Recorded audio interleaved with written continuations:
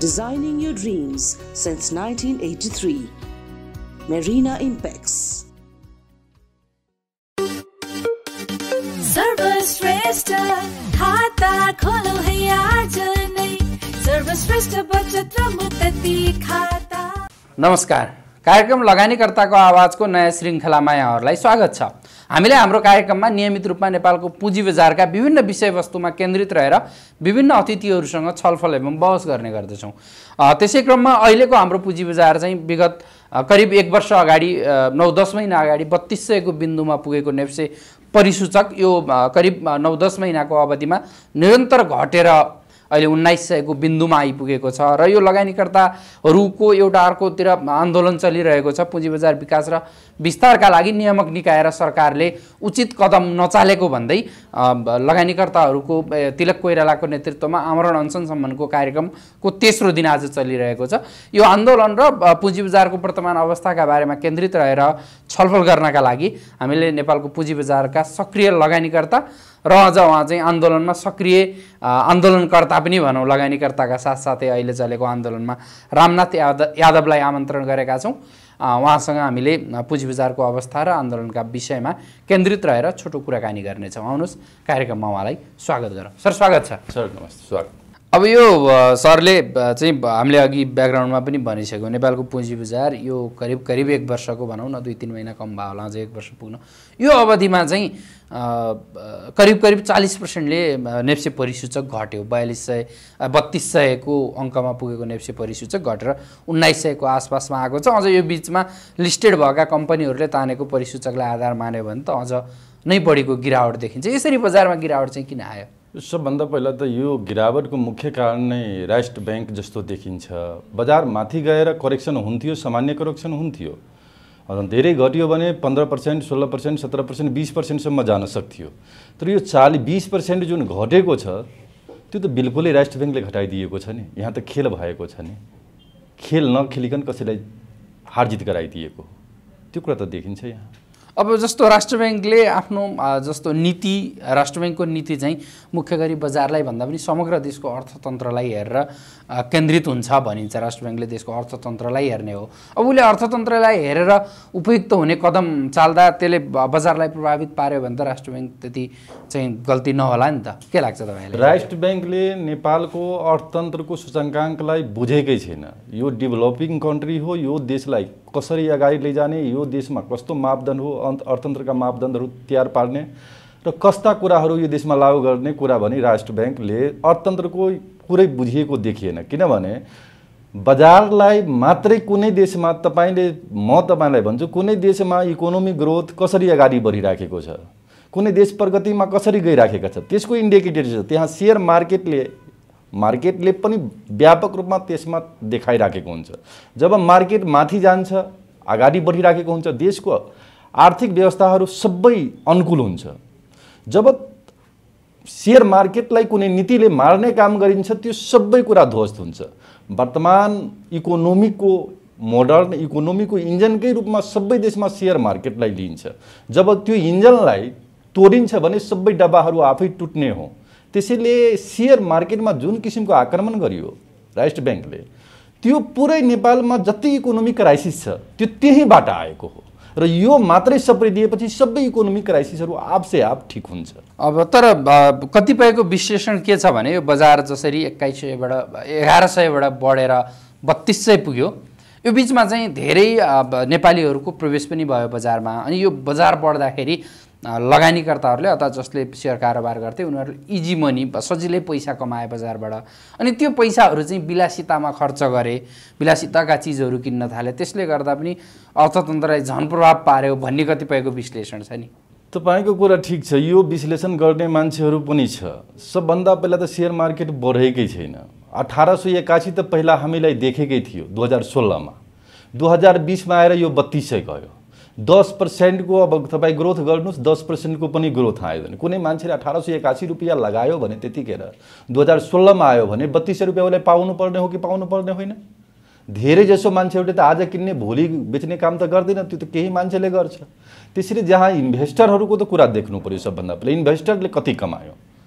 त्यहाँ त्यो कमाएकै छैन दोस्रो कुरा तपाईँ जुन भन्नुहुन्छ कि आयात बढी गरिन्छ। त्यसलाई त सेयर मार्केटलाई कमजोर पारेर त्यो आयात रुक्ने हो र कि सेयर मार्केट अठार सय उन्नाइस सय दुई हजारमा आएपछि आयात रुकिन्छ। त्यो त खर्बौले बढिराखेको छ। तपाईँ कुनै प्रुफ छ? राष्ट्र ब्याङ्कले इकोनोमिस्टहरूले दिन सक्छ? सेयर मार्केट बढेर यति आयात भयो। अब सेयर मार्केट घट्यो सबै मान्छे पेनिक भयो। अब आयात हुँदैन भनेर छ कुनै प्रभाव त्यसको मतलब त्यो इकोनोमिस्टहरूले इकोनोमिक्सै बुझेको छैन जस्तो लाग्छ। र हावाको भरमा बोलिदिने जे पायो त्यही बोलिदिने। त्यस्तो कुराहरू देखिन्छ। अब यो सरको यो करिब पाँच सात वर्षको अनुभवले के भन्छ? सेयर बजारबाट पैसा कमाउन सजिलो छ? सेयर बजार आधुनिक अर्थतन्त्रको संसारकै इन्जन हो। म तपाईँलाई भन्छु साउथ एसियामा बम्बई एउटा सपनाको सहर हो। के कारणले हो? Bombay stock exchange. त्यो कारणले त्यो सपनाको सहर भएको हो। न्युयोर्क किन त्यति चल्तीको सहर हो? किन मान्छे न्युयोर्कमा जान खोज्छ? किनभने अमेरिकन सेयर मार्केट त्यहाँ छ। सङ्घाई किन मान्छेले मन पराउँछ? सेन्ट पिटर्सबर्ग किन मान्छेले मन पराउँछ? सेयर मार्केट नै आधुनिक अर्थतन्त्रको इन्जनको रूपमा देखिन्छ। त्यसलाई जति गाली गरे पनि जे गरे पनि त्यो त फाँसीवादी यो वर्तमान इकोनोमिक्सलाई नबुझेर त्यो कुरा भएको हो। मतलब जान्ने मान्छे तपाईँ भन्नुहुन्छ इजी मनी कसरी? मलाई त इजी मनी लाग्दैन। यो त धेरै पढ्नुपर्छ धेरै अध्ययन गर्नुपर्छ। तर बढ्दो बुलिस बजारमा त एकदम इजी मुनिकै रूपमा त्यो खरे जब ठुलो बाढी नबुझ्ने मान्छेको लागि इजी मनी हो। नबुझ्नेको मान्छेलाई त के बुलिस के बिरिस थाहै हुँदैन। पहिला त नलेज चाहियो नि धेरै। नलेज धेरै भएपछि धेरै बुझेपछि त त्यहाँ आऊ। अब लाग्नुपर्छ अब जानुपर्छ भनेर त्यो त धेरै पर धेरै अध्ययन गरेको धेरै कुराहरू बुझेर त्यो प्रतिफल प्राप्त गरेको हुन्छ नि। त्यो एक दिनमा गरेको काम त होइन नि। तर तपाईँले यो तपाईँको कुरा एकदम जायज छ। तर तपाईँले तपाईँले पनि हेरिराख्नु भएको छ। हाम्रो नेपालको यो एक दुई वर्षको पिरियडमा नेपालको पुँजी बजारमा जति लगानीकर्ताहरू भित्रिए तपाईँलाई के लाग्छ? सबै लगानीकर्ताहरू पढेर बुझेरै आएका छन् त बजारमा? सबै केही न केही त बुझेरै आएका छन्। सेयर मार्केट भनेको के हो भने थाहै थिएन। एउटा ठुलो जमात शिक्षित वर्गमा प्रोफेसर इन्जिनियर डक्टर यी यहाँसम्म कि इकोनोमिक पढेको मान्छेहरूलाई पनि मास्टर गरेको मान्छेलाई पनि थाहा थिएन कि सेयर बजारमा यसरी सेयर बजार बजार भनेको के हो? यसमा कसरी पैसा बन्छ? यसले कसरी काम गर्छ? र त्यो कुराहरू केही हदसम्म एउटा निम्न वर्गसम्म पनि पुर्याइदिएका हुन् कि सेयर मार्केट हुन्छ कम्पनीले पैसा कमाउँछ कम्पनीले डिभिडेन्ड बाँड्छ बाँड्छ र त्यो कम्पनीले जसरी ग्रोथ गर्छ देशको इकोनोमिक्सहरू राम्रो हुँदै गयो भने त्यसले वृद्धि गर्छ एकको पाँच पनि बनाउँछ। त्यो त अहिलेको हिसाबमा त धेरै चाहिन्छ अहिले त गरिब जनताले पनि नपढ्ने जनताले पनि त्यो बुझ्ने कुरा देखिन्छ। मेरै घरमा जानुहोस् भने अरूकै घरमा जानुहोस् भने मा- बा आमा त पढेका छैनन्। तर उसलाई थाहा छ कि सेयर मार्केटमा पैसा लगाउनुपर्छ है। समय आएपछि एकको पाँच बन्छ। तर त्यो नजानेरै लगानी गर्दा धेरै लगानीकर्ताहरू अहिले प्यानिक भयो भनिन्छ नि। नजानेर होइन। यहाँ जानेरै त्यो कुरा भएको हो। नजानेर कसैले यो पालि पेनिक भएको होइन। किन धेरै जानेर धेरै जानेर धेरै जानेर किन मैले भने तपाईँलाई कि खेल एकातिर चलिराखेछ गाडी म अगा बाइक हाँक्छु म अगाडि गइराखेको छु। पछाडिबाट कसैले मलाई अगाडिको कुरा मलाई देख्नु पर्यो नि? सेप त अगाडिबाट हुनुपर्छ मलाई। तर कसैले पछाडिबाट आएर मलाई रिसाब बस ठक्कर लगाइदिन्छ भने त्यसको जिम्मेवार म हुँ। यहाँ त सबै कुरा राम्रै दिशामा चलिराखेको थियो। तर राष्ट्र ब्याङ्कले चुपचाप पछाडिबाट ठक्कर लगाइदियो। अब त्यो एक्सिडेन्टको जिम्मेवारी कसले लिने? हामीले त अगाडि हेर्ने हो नि। पछाडि त हेर्ने होइन। त्यो त एक्सिडेन्टल जानै बुझेर एक्सिडेन्ट गरिदिएको हो मान्छेलाई खसाइदिएको। भनेपछि यो बजारको गिरावट चाहिँ राष्ट्र ब्याङ्कले निम्ताएको एक्सिडेन्ट भन्नुहुन्छ त्यो राष्ट्र ब्याङ्कले डाइरेक्टै खेलेको छ नि यहाँ। त्यो सबैले बुझिसकेका छन् संसदमा पनि त्यो कुरा आइराखेका छन् संसदले पनि त्यो कुरा बुझिसक्यो। अब जस्तो थोरै थोरै अब यो कुराकानीलाई आन्दोलनतिर केन्द्रित गरौँ। अब यो बजारको स्वाभाविक रूपले तपाईँले पनि भन्ने मैले पनि भन्ने सबैले भन्ने पनि के हो भने बजारको गिरावट र बजारको वृद्धि स्वाभाविक हो बजार बढ्छ। घट्नका लागि घट्छ बढ्नका लागि भन्ने एउटा सामान्य सिद्धान्त नै मानिन्छ बजारको ब्युटीलाई नै। त्यसलाई भनिन्छ ननिष्ठ बढिराख्यो भने त बजार कहाँ कहाँ पुग्थ्यो होला। तर यस्तो अवस्थामा बजारको वृद्धि गिरावट सामान्य भए पनि लगानीकर्ताहरू सडकमै आउनुपर्ने आमरणै अनसन गर्नुपर्ने चाहिँ किन? बजार तल माथि हुन्छ। बजार पाँच सय पनि कुनै सरकार राख्नु हुँदैन। त्यो देशको इन्डिकेटर देशको इकोनोमिकले त्यो कुरालाई डिसाइड गर्ने। तर यहाँ त बिल्कुलै त्यो कुरा देखिएको छैन। नि अठार सयमा आएपछि मान्छे या डुबियो भने त्यसको जिम्मेवारी कसले लिन्छ? कसैले लिँदैन। तर त्यो नेचुरल वेमा हुनु पर्यो नि। राष्ट्र ब्याङ्कले यहाँ आएर खसाइदिने नीतिहरू ल्याइदिने र ल सेयर बजारलाई ध्वस्तै पारिदेऊ। त्यो कुराहरू गरेर त्यस्ता कुराहरू गरेर त्यसको विरुद्धमा हो नि। कुनै पनि आन्दोलनको बुदा सेयर मार्केटलाई पाँच हजार पुर्याइदियो त्यो हिसाबले आएको छ। सरकारले गर्नुपर्ने कामहरू बजारलाई नराम्रा कुराहरू जुन गरेका छन् त्यसलाई मात्रै रोक्नको लागि आन्दोलन हो नि। यसले बजारबाट हट्ने घट्ने र बढ्नेबाट सरकार भएन। तर म तपाईँलाई एउटा कुरा भन्छु। राष्ट्र ब्याङ्कले अर्थ मन्त्रालयले केही इकोनोमिस्टहरूले वर्तमानको इकोनोमिक डेभलपमेन्टको कुराहरू बुझ्यो। देशमा तरलता कसरी आउँछ देशको आर्थिक ग्रोथ कसरी हुन्छ देशलाई मोडर्नाइज कसरी गर्ने? आयातलाई कसरी रोक्ने? ती कुराहरू मात्रै गरिदियो भने नेपालको इन्डेक्स त पाँच हजारभन्दा तलको इन्डेक्स होइन किनभने यो वर्ल्डकै अन्डर भ्यालुड स्टक हो। यो फ्रीमा पाउने स्टक हो। भनेपछि तपाईँलाई के लाग्छ? नेपालको मार्केटमा अहिले भएका कम्पनीहरू विश्वका सबै स्टक मार्केटलाई हेऱ्यो भने नेपालमा सबैभन्दा सस्ता चाहिँ कम्पनी यो अन्डर हो यो अन्डर भ्यालुड हो। धेरै यति कमजोर स्टक कहाँ पाइन्छ?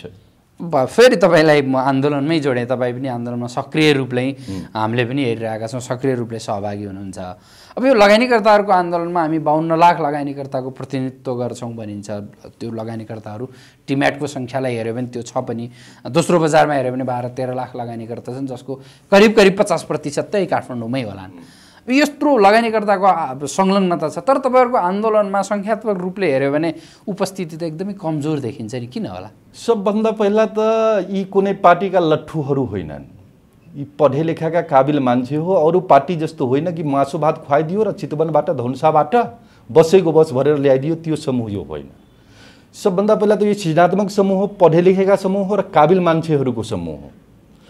त्यो हिसाबले र यहाँ सबै मान्छे नेतै हो। सेयर मार्केटमा सबै मान्छे के हो? नेतै हो। एकजना मान्छेको पछि दसजना बिसजना पचासजना सयजना ब्याकमा हुन्छ। त्यसैले यहाँ दसजना भयो भने तपाईँ बुझ्नुहोस् यो कि एक हजारको जनसङ्ख्या हो। किनभने यो सबै मान्छेको लिडरको समूह हो। जुन आन्दोलनमा छ जुन अगाडिमा जान्छ त्यो सबै लिडरै हो।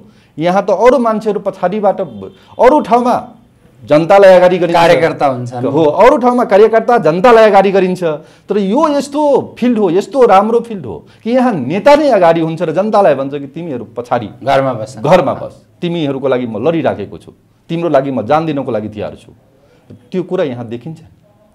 त्यसैले यो सबैको प्रतिनिधित्व गर्छ र कसको प्रतिनिधित्व यो गर्दैन? यो सबै बावन लाखकै प्रतिनिधित्व हो। अब यो तपाईँले हेरिराख्नु भएको छ करिब करिब तेइस गतेदेखि सुरु भएको यो आन्दोलनको स्वरूपहरू परिवर्तन हुँदै अहिले आमरण अनसनमा पुग्यो। अब यो हुँदा पनि नियामक निकायहरूले लगानीकर्ताहरूको मागप्रति त्यति सेन्सिटिभ अर्थ मन्त्रालय होस् धितोपत्र बोर्डको अध्यक्ष त अहिले देशमा पनि हुनुहुन्न बाहिर हुनुहुन्छ विधामा हुनुहुन्छ। भनेपछि यस्तो अवस्थामा यो अब लगानीकर्ताहरूलाई सरकारले सुनेन भने त लगानीकर्ता त एकजना निरीह लगानीकर्ता त को स्वास्थ्यमाथि नै खेलबाड हुने अवस्था आयो नि त। त्यो कुराहरू गरियो सरकारले भने। यो देश अन्तर्राष्ट्रिय लेभलमा यहाँ डेमोक्रेसी हुँदाखेरि यो पूर्ण रूपमा सिस्टममा नआएको कुराहरू देखिन्छ। अन्तर्राष्ट्रिय दबाब पनि बढिन्छ र हाम्रो इकोनोमिक्समा पनि त्यसका रिफ्लेक्सनहरू जान्छ। त्यसैले त्यो कुराहरू गरियो भने यो सरकार नेपाललाई अहिलेसम्म इकोनोमी देशलाई कसरी अगाडि बढाउने इकोनोमिक्सै नबुझेको। देशलाई राजनीतिक पार्टीहरूले केही नबुझिकन सत्तामा गएको र अनावश्यक रूपमा जहाँ पायो त्यहीँ देशलाई लग्न खोजेको कुरा देखिन्छ। त्यसैले यो आन्दोलन फेल हुनु भनेको तिलकोरालाई फेल भनु फेल भन्नु भनेको र सेयर मार्केटप्रति विश्वास उठ्नु भनेको यी पार्टीहरू प- माथि पनि विश्वास उठ्नु हो। र यी पार्टीहरू सर्भाइभ गर्न सक्छ भन्ने कुरामा पनि विश्वास नगरे हुन्छ। अब जस्तो तपाईँले पनि हेरिराख्नु भएको छ अघि पनि कुरा गऱ्यौँ। पुँजी बजारको विकास र विस्तारका लागि कुरा अनुसार कोही पनि नकारात्मक छैन अर्थमन्त्रीको कुरा सुन्यो उहाँ पनि पुँजी बजारको विकास हुनुपर्छ विस्तार हुनुपर्छ। यो अर्थतन्त्रको मेरुदण्ड हो भन्नुहुन्छ। संसदमा हेर्नुभयो भने हरेक दिन जस्तो यो भनौँ न करिब करिब नेपालको इतिहासमै पहिलोचोटि पुँजी बजार चाहिँ संसदमा प्रवेश गरेको छ राष्ट्रिय मुद्दा बनेको छ। हरेक दिन जस्तो माननीय ज्यूहरूले पुँजी बजारकै विकासको कुरा उठाउनुहुन्छ। धितोपत्र बोर्डका अध्यक्षज्यू हरेक कार्यक्रममा चाहिँ पुँजी बजारलाई विकास र विस्तार गर्न चाहन्छु भन्नुहुन्छ। यो हल्लो चाहिँ कहाँ अड्कियो त? बोल्नको लागि सबै बोल्छ। संसदमा पनि कुरा उठाइराखेका छन्। सबै कुरा गरिराखेका छन्। तर उनीहरूको दिमाग कहाँ छ? त्यो कुरा हामीलाई बुझ्नु पर्यो। बावन लाख लगानीकर्ता छ। बावन लाख लगानीकर्ताको मतलब लगभग बिस पर्सेन्ट जनसङ्ख्या भयो नेपालको। बिस पर्सेन्ट जनसङ्ख्या आर्थिक रूपमा मजबुत हुनु र यी पढे लेखेका काबिल मान्छेहरूको समूह हो। यो लट्ठुहरूको समूह होइन। यो बस जलाउने मान्छे मार्नेहरूको समूह होइन। यो सृजनात्मक मान्छेहरूको समूह हो यो काबिल मान्छेहरूको समूह हो। यी मान्छेहरू आर्थिक रूपमा सबल भयो भने यही मान्छेलाई देशलाई कायापलट गर्न सक्छ। र यो मान्छेहरू सेयर मार्केट माथि गयो भने नेपालमा भोट ब्याङ्कको राजनीति पनि खत्तम हुने देखिन्छ। त्यसैले नेपालका राजनीतिक पार्टीहरूले बोल्दा अर्को कुरा बोलिन्छ गर्दा अर्को कुरा गरिन्छ। यी पार्टीहरूले यी बावन लाख मान्छे कसरी गरिब रहन्छ? र एउटा ठुलो तबका नेपालको कसरी गरिबीमा बस्छ र उनीहरूलाई भोट ब्याङ्कको रूपमा प्रयोग गर्न सक्ने र उनीहरूलाई दारू र मुर्गा खुवाएर कसरी भोटको बेलामा लालच दिएर पाँच सय हजार रुपियाँ बाटेर भोट लिन सक्ने त्यो हिसाबले राजनीतिक पार्टीहरूले काम गरिराखेका छन्। म भन्छु जब जनता आत्मनिर्भर हुन्छ मानव बावन लाख मान्छे आत्मनिर्भर भयो। या मलाई त लाग्छ कि नेपालको सेयर मार्केट अगाडि बढ्यो भने केही समयभित्रै एक करोड डिमान्ड बन्ने छ त्यसमा त तपाईँको पनि विश्वास होला।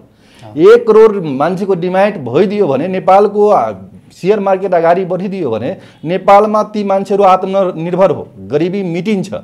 र त्यतिखेर यी पार्टीहरूलाई भोटको भोट ब्याङ्कलाई हेर्नको लागि आत्मनिर्भर भएपछि मान्छे आज के भयो काठमाडौँमा?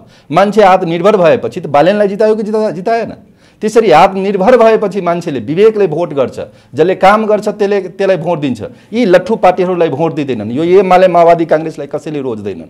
त्यही कारणले यी मान्छेहरूले यी नेपाल सेयर मार्केटलाई विकास नगर्नुको मेन कारण त्यो हो उसले भोट ब्याङ्क हेर्छ।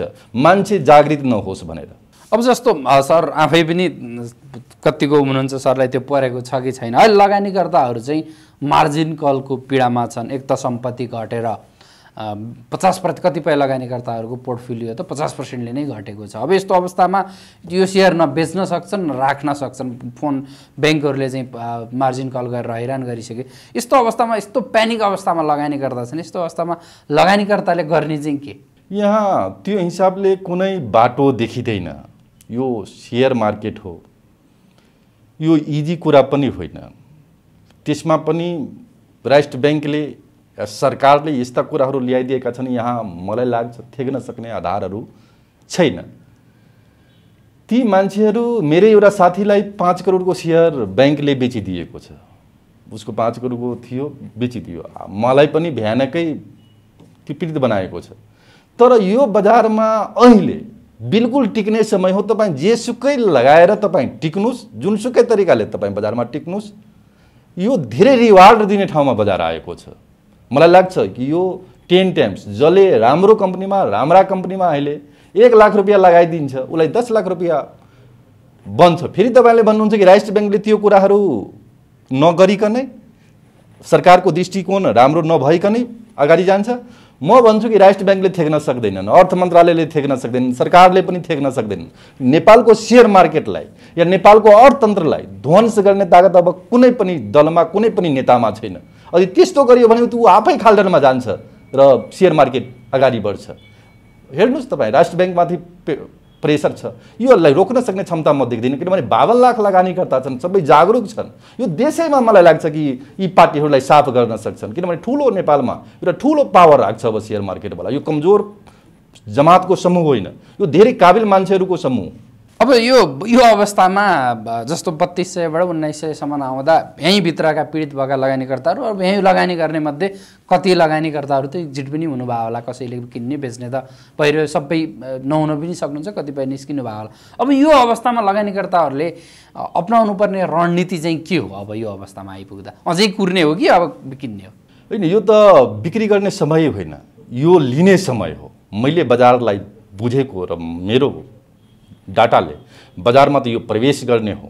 अहिले जुन मान्छेहरूले लिन्छ त्यो मान्छेहरूले टेन टाइम्स पैसा बनाउँछ त्यो कुरा म तपाईँलाई भन्छु। तर त्यो कम्पनी हुनु पऱ्यो है राम्रा कम्पनीहरू। समय लाग्न सक्छ। समय लाग्न सक्छ। छ महिनापछि नै बुलिस स्टार्ट होला। मैले भन्छु राष्ट्र ब्याङ्कले केही कुरालाई करेक्सन गरिदियो तरलतालाई फालिदियो बजेटलाई सपोर्ट गरिदियो। नेपालमा आठ पर्सेन्ट बजेटको लागि तरलता चाहिएन। मौद्रिक नीति खुकुलो आउनु परेन। त्यसरी आठ पर्सेन्टको ग्रोथ हुन्छ। अनि नेपालको अर्थतन्त्रलाई माथि लग्नु परेन। नेपालमा पैसाको डेभलपिङ कन्ट्री हो यहाँ पैसाको खाँचो छैन। यहाँ त प्रशस्त पैसा छोड्नु पर्यो नि यो देशमा। त्यसपछि त यो देश अगाडि जान्छ। त्यो हिसाबले यिनीहरूले करेक्सन गरिदियो भने बजारमा बुल स्टार्ट हुन्छ। र बुल स्टार्ट भयो भने लङ टाइम चल्ने लङ टाइम दौड्ने घोडामा लगाउनुपर्छ जुन लगातार दौडिरहेको छ। अब जस्तो सरले भन्नुभयो कि राष्ट्र ब्याङ्कको नीति मात्रै परिवर्तन भयो भने बजार दौडिन्छ भनेर। तर देशको अर्थतन्त्रलाई हेर्नु पर्दैन। देशको अर्थतन्त्र हेर्दा त देशको अर्थतन्त्र त डाटाले त नाजुकै देखाउँछ। मैले तपाईँलाई त्यही कुरा भनिराखेको छु। तपाईँले जे कुरा देख्नुहुन्छ त्यो बिग्रेको कुरा तपाईँ देख्नुहुन्छ। भूकम्पको बेलामा नेपालको अर्थतन्त्र तहस नहस भएको थिएन। तर सेयर मार्केटमा सेयर मार्केटले क्यापिटल मार्केटले मात्रै सपोर्ट गर्दाखेरि कुनै कुराहरू देखियो साइडमा? नाका के भन्ने यो कोरोनाको बेलामा नेपालको अर्थतन्त्रमाथि कसैको विश्वास थियो? तर मात्रै सेयर मार्केटलाई चलाइदियो सरकारले भने त्यतिखेर कुनै समस्या आयो? जब कोरोनाको बेलामा नेपाल क्राइसिसमा परेन भने नेपालीको मनोविज्ञान घटेन भने यो बेलामा किन घट्यो? देश दुर्घटनामा किन गयो? के नेपालको क्रय शक्ति नेपाली जनताको क्रय शक्ति बढ्यो भने त्यो दुर्घटना निम्ति आउँछ?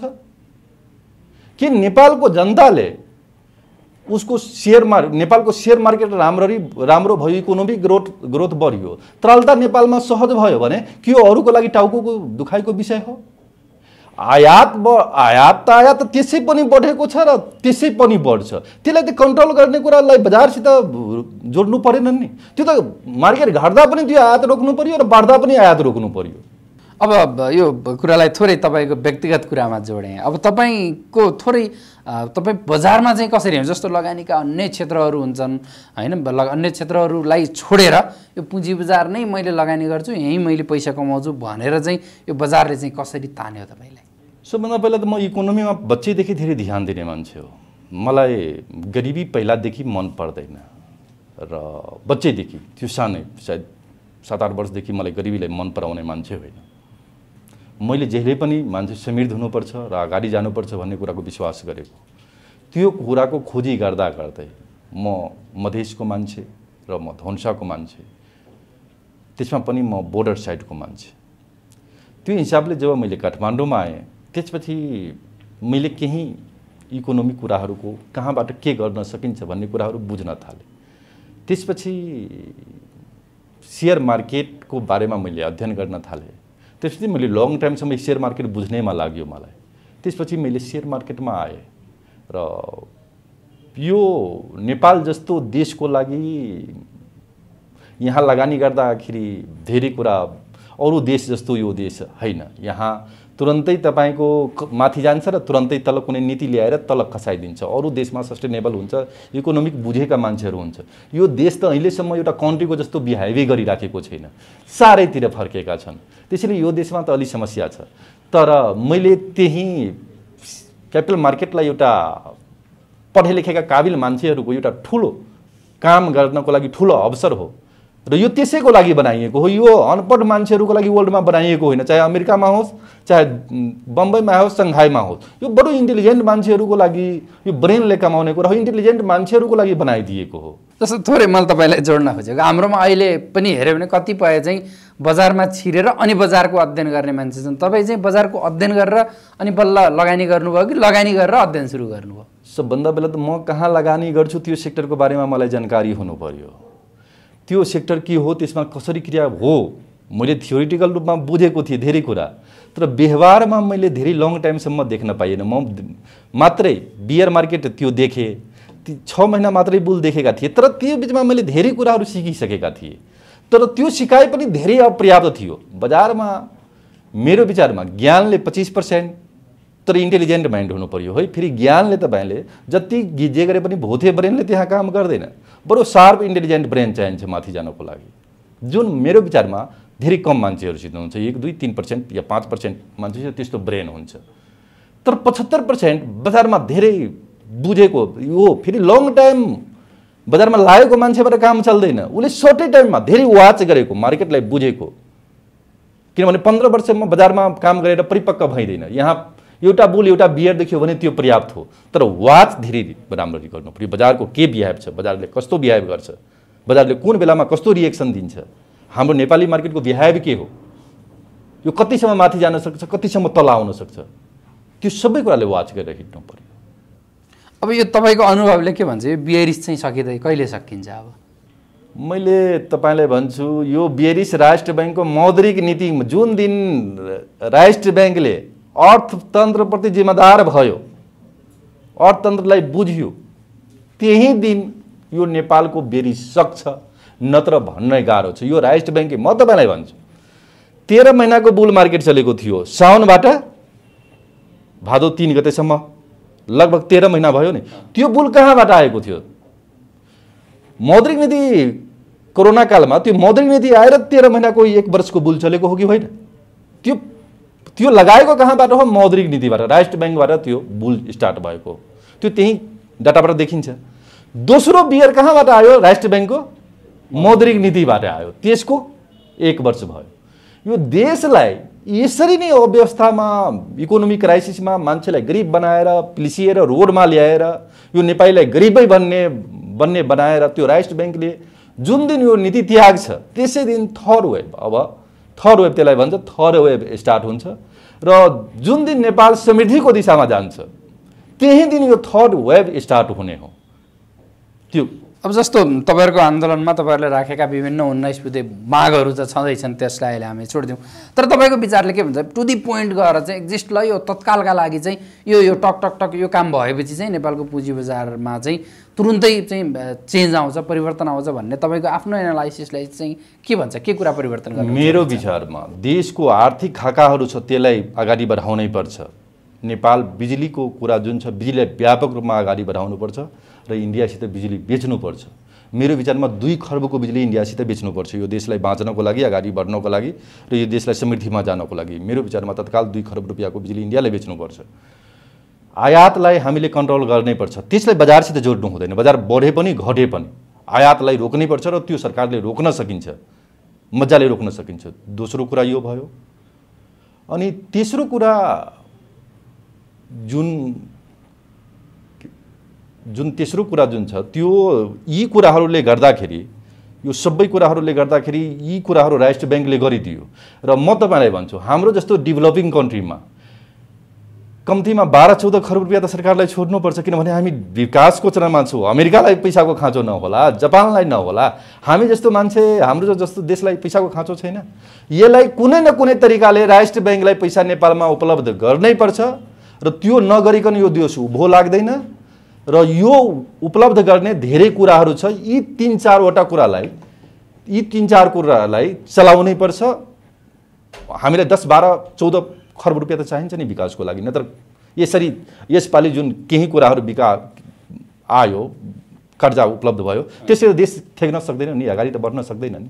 अब जस्तो अहिले हामीले तपाईँले पनि भन्नुभयो विभिन्न बजार घट्नुका कारणहरू छन्। तर अहिले पछिल्लो समय चाहिँ एउटा बजार घट्नुको अर्को कारणको रूपमा चाहिँ अहिले जसरी धमाधम बिमा कम्पनीहरू धमाधम वाणिज्य ब्याङ्कहरू मर्जरमा जाँदैछन् यो मर्जरमा जाँदा जुन लगानीकर्ताहरूले लगानी गरेको सम्पत्ति जुन सेयर थियो त्यो वर्षौँसम्म महिनौ पनि नभनौँ वर्षौँसम्म चाहिँ बन्धक भइदिने रोक्का हुने। त्यही भएर लगानीकर्ताहरू चाहिँ एउटा कुनै कम्पनीको मर्जरको हल्ला चल्यो भने चाहिँ तुरुन्तै त्यो कम्पनीको सेयर चाहिँ जति मूल्यमा त्यो वर्षौँसम्म चाहिँ बन्धक भएर बस्नुभन्दा बरु जति मूल्य पाउँछ त्यतिमा बेचिदिन्छु भनेर चाहिँ प्यानिक भएर बेच्दा चाहिँ बजार थप घट्यो भन्ने विश्लेषण पनि छ नि।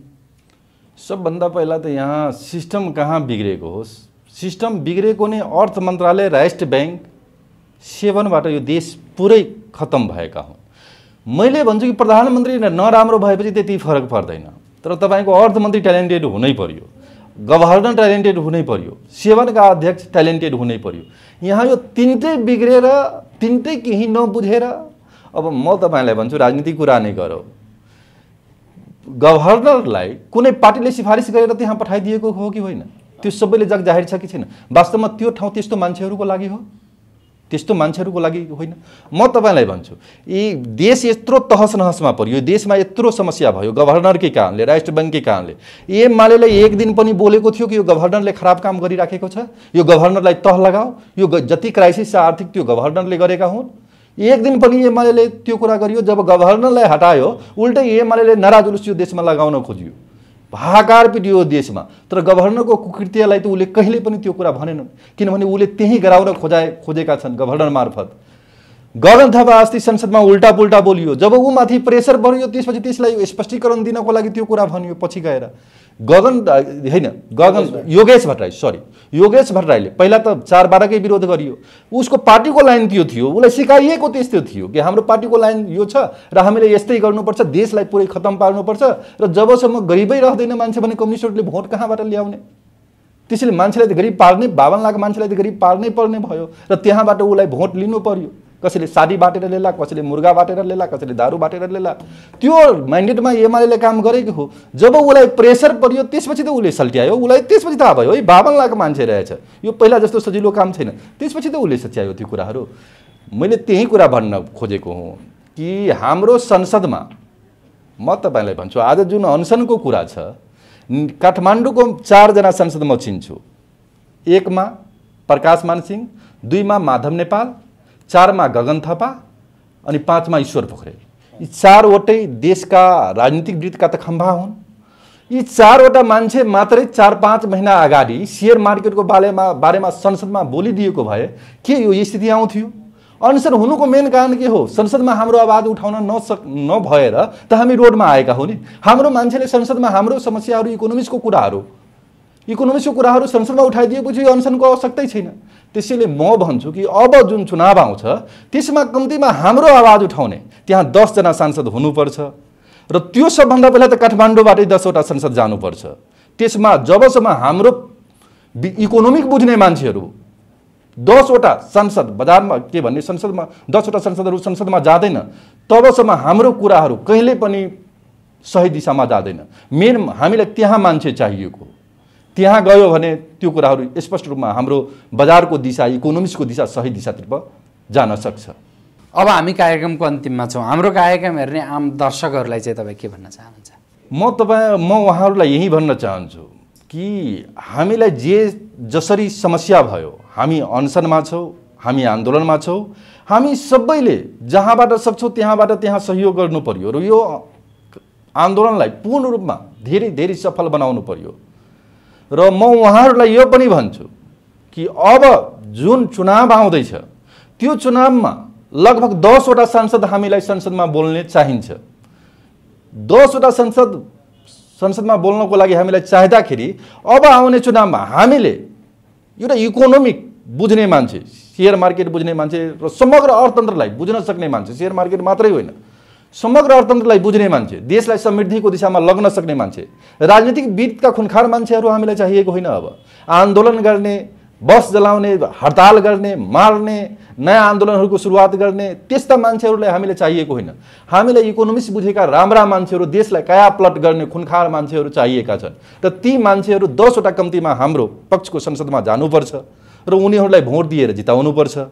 त्यसपछि हाम्रो समस्या मलाई लाग्छ कि हामीलाई आन्दोलनै गर्नु पर्दैन। हाम्रो आवाज संसदमा धर्ना हुन्छ। यो पाँचवटा सातवटा लोक लोसपा जसपाहरूले भन्छ त्यो त सरकारसित बार्गेनिङ गर्छ। हामीले दसजना गयो भने हामी त त्यहाँ ठुलो भारी पर्छौँ। त्यसैले हाम्रो मागहरू त्यहीँबाट पुरा हुन्छ र हामीलाई प्रमुख कुरा संसदमा आफ्नो दसजना मान्छे पठाउनु मुख्य कर्तव्य हो। त्यो सबै लगानीकर्ताको हो र सबैको हो। हस् यहाँको अमूल्य समय र संवादका लागि यहाँलाई धेरै धेरै धन्यवाद। धन्यवाद sir.